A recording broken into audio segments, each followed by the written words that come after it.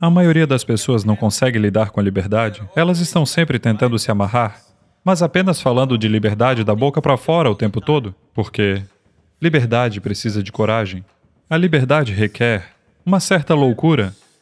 Eles podem me capturar, eles podem me torturar, eles podem fazer tantas coisas comigo, mas eles não podem me invadir. Vejam, todos os rapazes devem aprender músicas desse tipo, do contrário, vocês não conseguirão impressionar as garotas.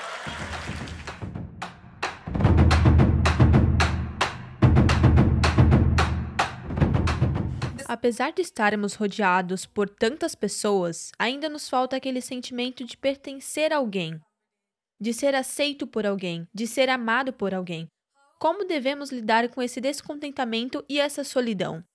Em um nível, muitas perguntas são direcionadas no sentido de como posso me libertar disso ou daquilo. Em outro nível, você está perguntando como posso me amarrar a algo ou a alguém. Você precisa se decidir. O que tem mais valor na sua vida? A liberdade ou as amarras? Por favor, eu gostaria de ouvir aquela palavra. Liberdade. Mas, quando você está livre, você se sente perdido? Quando você vai para as montanhas e está totalmente livre, isso é, sem ninguém em volta, sem nada ao redor, você está somente no espaço vazio das montanhas, você não se sente livre, você pensa que está perdido? Portanto, para lidar com a liberdade, é preciso certa clareza e força. A maioria das pessoas não consegue lidar com a liberdade. Elas estão sempre tentando se amarrar, mas apenas falando, falando de liberdade da boca para fora o tempo todo. Se você realmente as libertar, elas sofrerão imensamente. Então, esse é um problema evolucionário, no sentido de que os seres humanos estão desse jeito agora. Um pássaro engaiolado, se você mantiver um pássaro engaiolado por um longo período de tempo e depois um dia você remover a porta da gaiola, ainda assim o pássaro não voará. De dentro da gaiola ele vai protestar por não estar livre, mas ele não irá voar.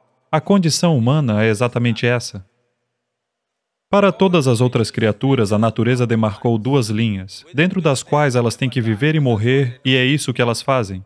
Porém, somente para os seres humanos, existe apenas a linha de baixo, não existe a linha de cima.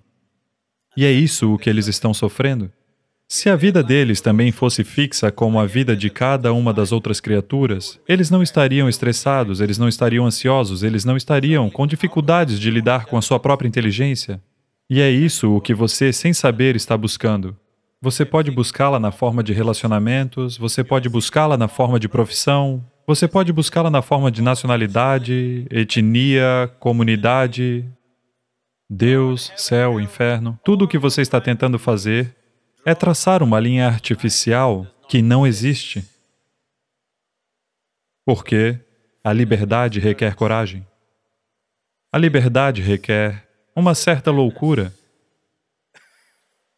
Se você é muito sensato, você não pode ser livre porque você permanecerá entre as duas linhas da lógica. Para ser livre, é preciso muita força. Que se você... Primeiramente, o que precisa acontecer se você quiser ser livre é... Você compreende que toda a experiência humana tem uma base química? Olá? O que você chama de alegria é um tipo de química, a angústia é outro tipo de química, o estresse é um tipo de química, a ansiedade, outro tipo de química. A agonia, um tipo de química. O êxtase, outro tipo de química. Pelo menos o êxtase você sabe que é outro tipo de química. Ouvi dizer. Então, sua experiência de vida tem uma base química. Essa é a maneira mais superficial de se olhar para isso. Existem outras dimensões, mas para o seu entendimento, ou, em outras palavras, o que você chama de eu mesmo nesse momento, você é uma sopa de químicos. A questão é somente, você é uma sopa maravilhosa ou uma sopa horrível? Sim ou não? Nesse momento, se você tem uma química de êxtase, se você fecha os seus olhos, é fantástico. Se você abre os seus olhos, é fantástico. Se alguém está aqui, é fantástico. Ninguém aqui é muito fantástico. Sim ou não? Mas você tem uma química horrível. Se você olha para eles e eles sorriem para você, é legal, não fantástico. Se eles olham para você assim, de repente é um problema. Se essas pessoas estão agindo justamente da maneira que você quer, sua química está razoavelmente equilibrada. Se elas fazem algo que você não gosta, bum, ela vai para outro lugar. Então, essencialmente, você não observou esse mecanismo. Qual é a base disso? Como funciona? Como posso fazê-lo funcionar no mais alto nível? Agora, digamos que você está realmente radiante, como eu. Você se importa com quem está em volta e quem não está? Se eles estão à sua volta, é fantástico. Eles se vão, fantástico. Porque a sua experiência de vida não é mais determinada pelo que você tem e o que você não tem. Sejam pessoas ou coisas ou comida ou isso ou aquilo, não é determinada por isso.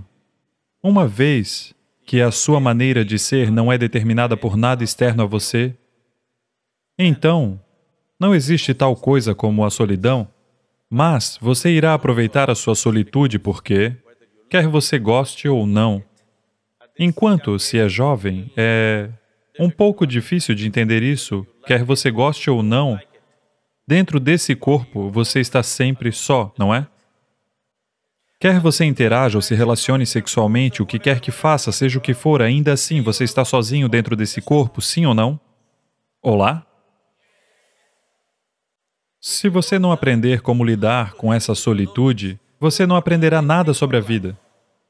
Essa é a coisa mais bela.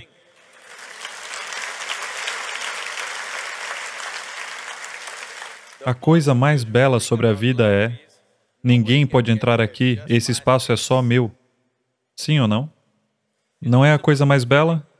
Ninguém pode me invadir. Eles podem me capturar, eles podem me torturar, eles podem fazer tantas coisas, mas eles não podem me invadir porque eu tenho um espaço que é só meu. Esse não é o aspecto mais maravilhoso da sua vida? Não sofra isso. Essa é a coisa mais bela.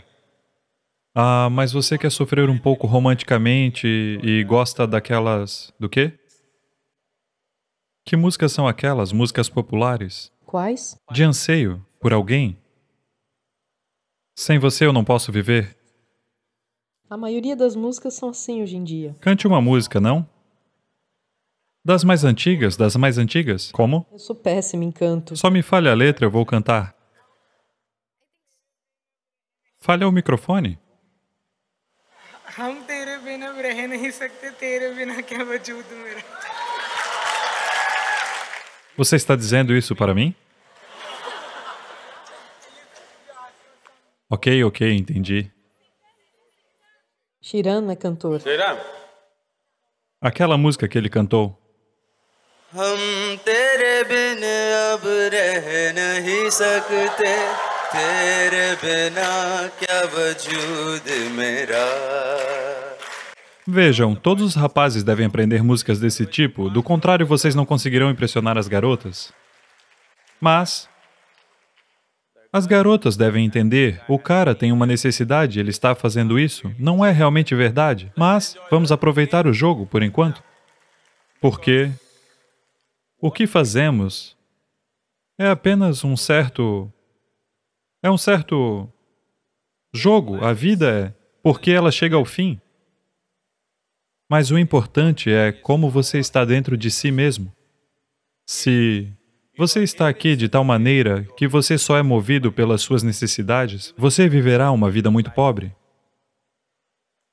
Porém, se você consegue se sentar aqui sem nenhuma necessidade, mas fará tudo o que for necessário, então você viverá uma vida magnífica. É meu desejo e minha bênção que cada um de vocês tenha uma vida fantástica. Façam isso acontecer para vocês mesmos.